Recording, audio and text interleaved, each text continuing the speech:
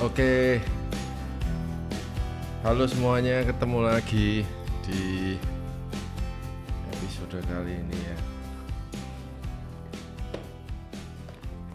Di depan saya ini ada pedal look baru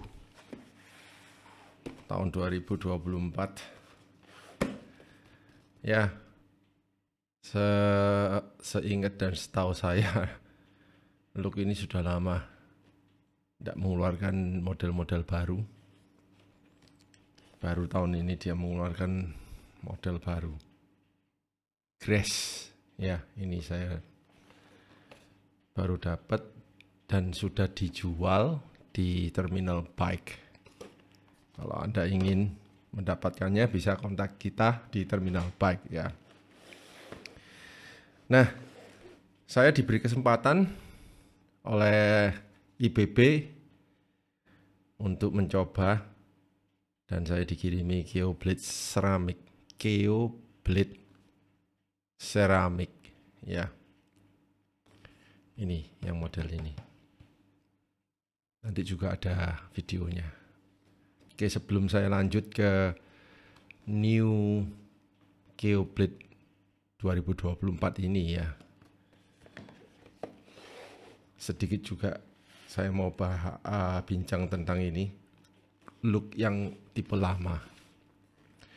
Di tempat kita di terminal bike ya Keo Classic ini adalah yang paling best seller.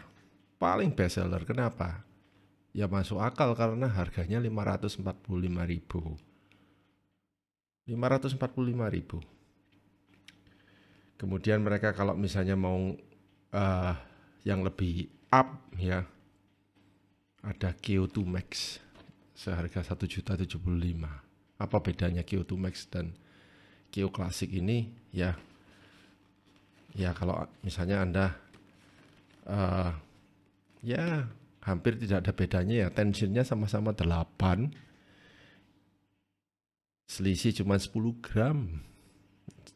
Q Classic 140 gram Q2 Max 130 gram Cuman Q2 Max ini pijakannya lebih lebar ya. Lebih lebar hanya 10 mm. Apalah 10 mm itu ya. Kecil sekali.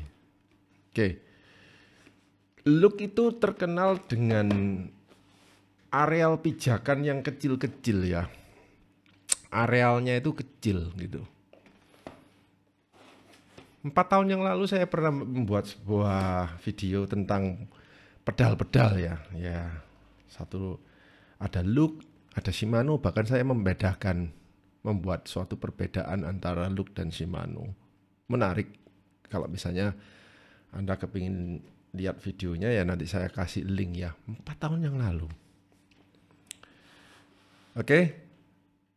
Nah, Kyo Classic 3 ini sangat terkenal bagi pemula ya, bagi mereka yang masih takut-takutan masuk ke klit ya.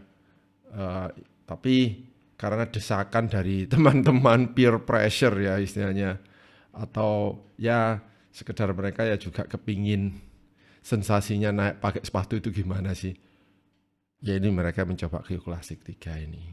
Ya masuk akal karena Keo Classic 3 ini easy. Ya ini sudah ditulis di dosnya. Easy clip out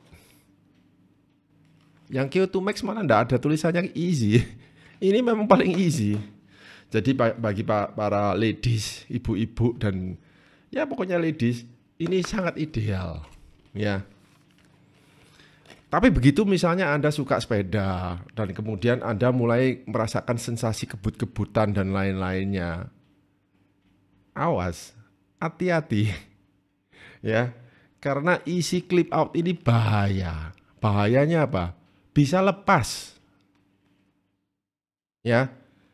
Untuk itu dicipt, uh, bukan diciptakan, untuk itu ada seri-seri yang lebih atas yaitu Keo Blade. Ya, ada Keo Blade. Ya, saya nggak usah bahas Keo Blade yang tipe lama ya, yang baru aja dah, ya kan? Ngapain? Ya, ini look new Keo Blade 2024 ini langsung keluar tiga seri ya. Jadi seri yang paling uh, basic tapi ya sebetulnya tidak basic ya karena Blade ini harganya mahal ya. Jadi Blade yang biasa aja harganya sudah 2,7 2 juta 730 sedangkan yang Blade Ceramic ini saya kira-kira 3 jutaan naik lagi Blade Ceramic Titanium ini harganya 5 juta 300 itu kalau kita bicara tentang price loh ya, harga. Oke, kenapa kok ada seri yang begini, begitu, begitu ya? Ada tiga seri. Oke, pertama-tama kita lihat aja dari segi uh, beratnya ya. Keoblade ini beratnya 115 gram. Keoblade ceramik sama 115 gram. Bedanya dia ada bearing seramiknya. Tuh. Kalau geoblade titanium ya jangan tanya, pasti lebih ringan, 95 gram cuman. Oke. Dan plus ada seramiknya karbon body. Tiga-tiganya ini semua karbon body. Dari geoblade, geoblade seramik, dan geoblade Ceramic titanium itu semua carbon body. Oke, kita mau lihat pijakannya sekarang berapa. CO2 Max itu ingat ya, 400 mm loh. Eh, sorry. CO2 Max itu 500 mm. Nah, yang new itu sudah naik 200 mm. Ya. Jadi 700 Wow. Berarti hampir sama dong dengan Shimano. Ya Shimano itu memang dia memilih dengan areal pijakan yang lebih besar ya.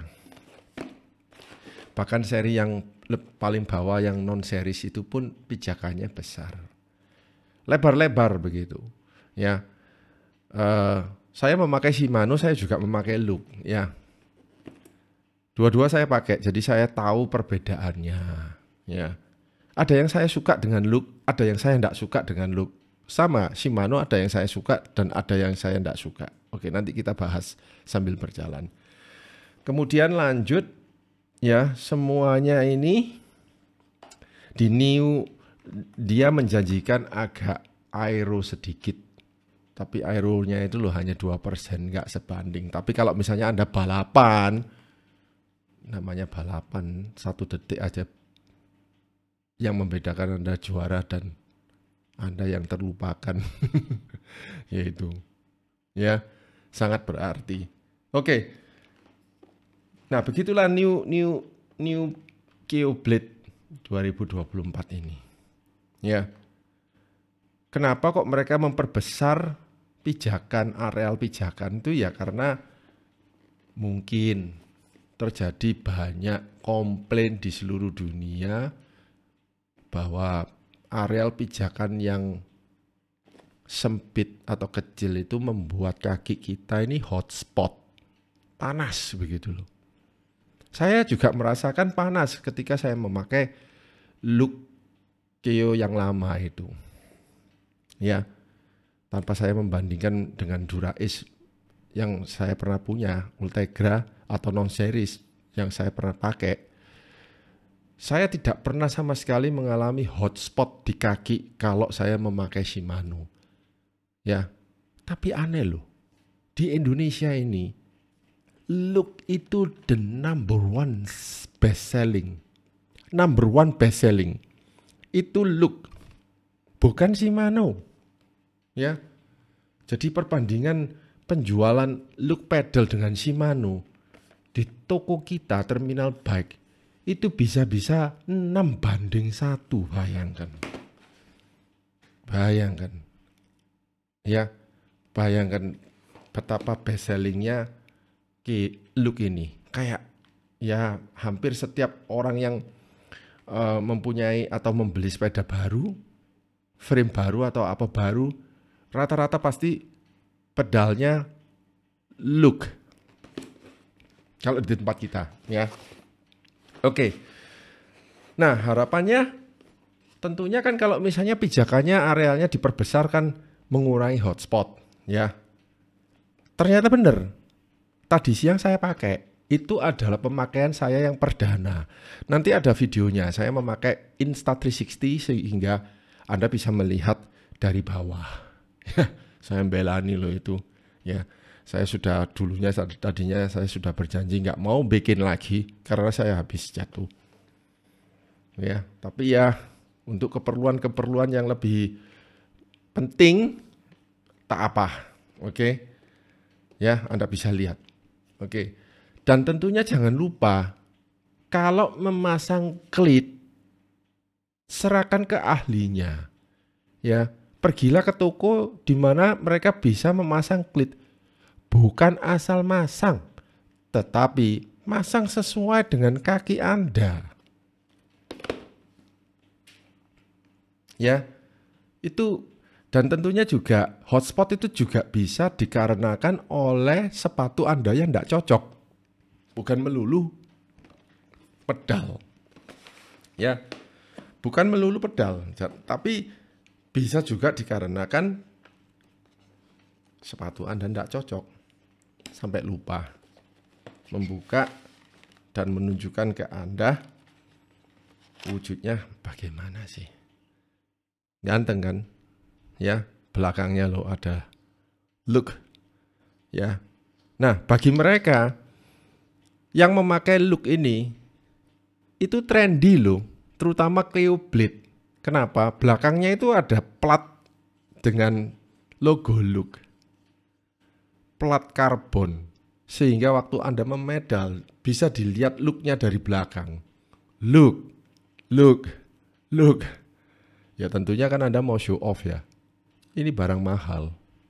Jadi ketika Anda dilihat dari belakang, wih pedalnya rek 3 juta. Kalau Anda membeli Durais walaupun harganya mahal, tidak kelihatan, tidak kelihatan. Tidak ketoro kalau itu di Durais dianggap pedal biasa.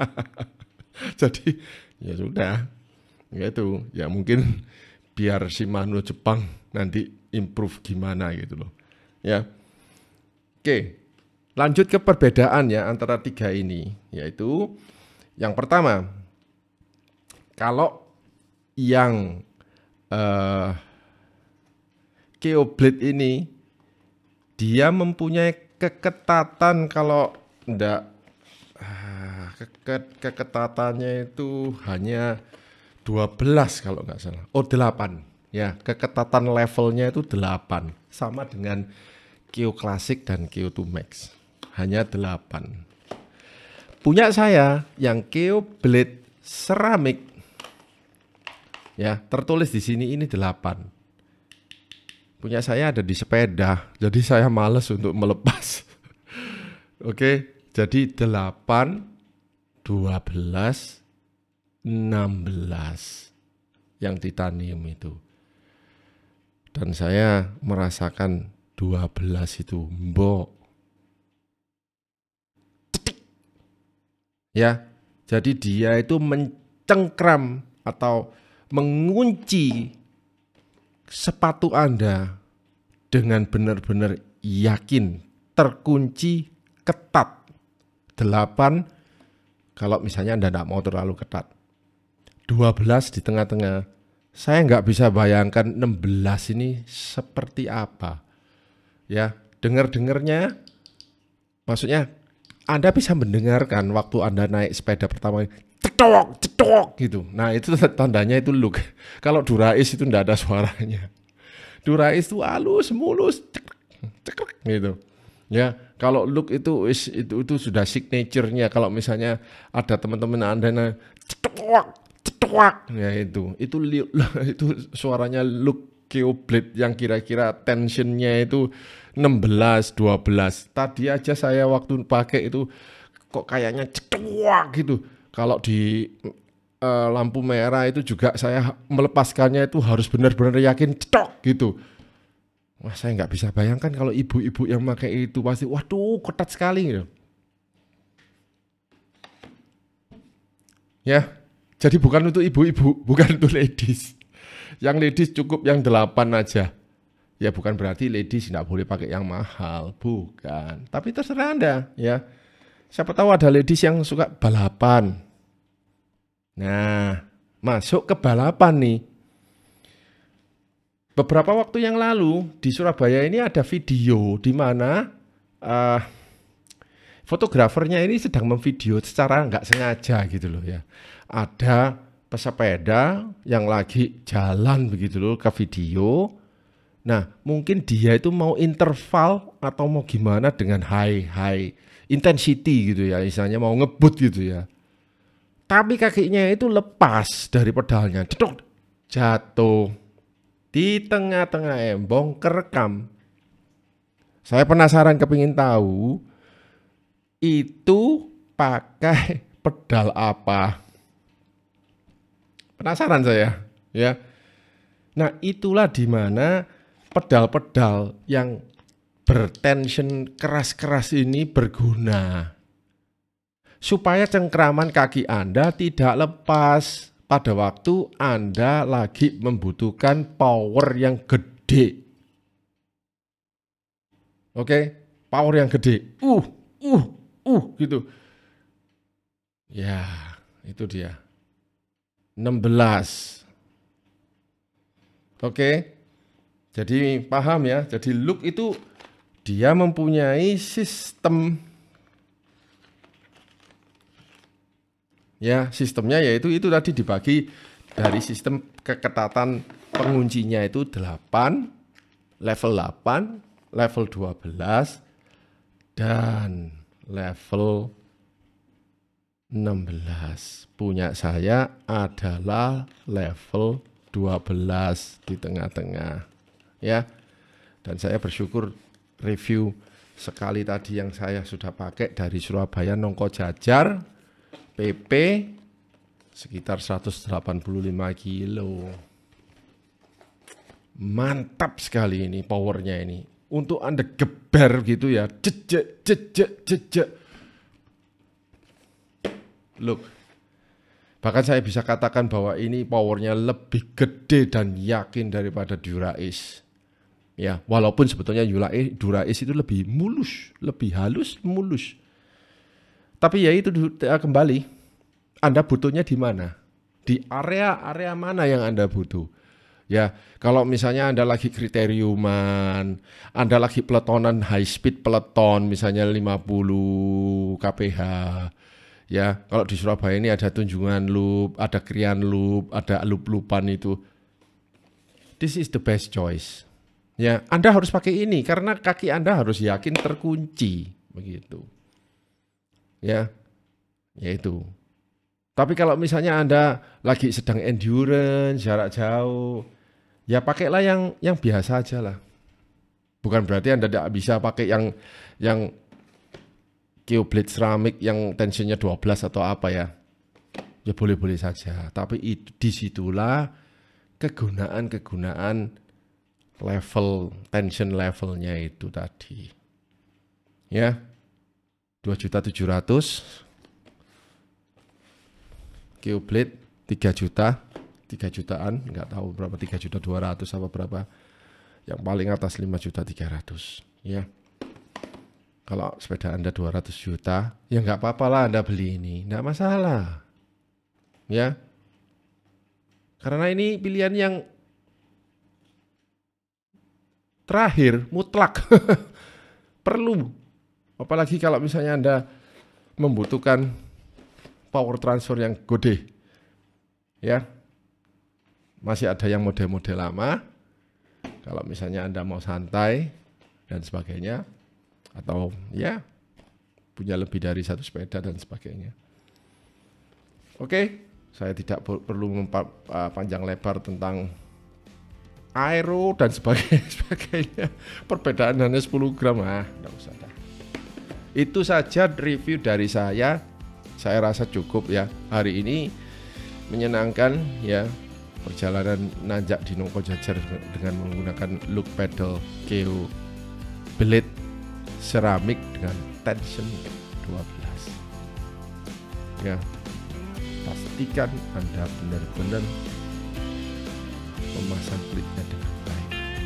Suatu saat nanti saya akan membuat episode khusus untuk memasang klip tutorialnya agar seluruh Indonesia tahu, paham, dan bisa masang di rumah sendiri tidak salah.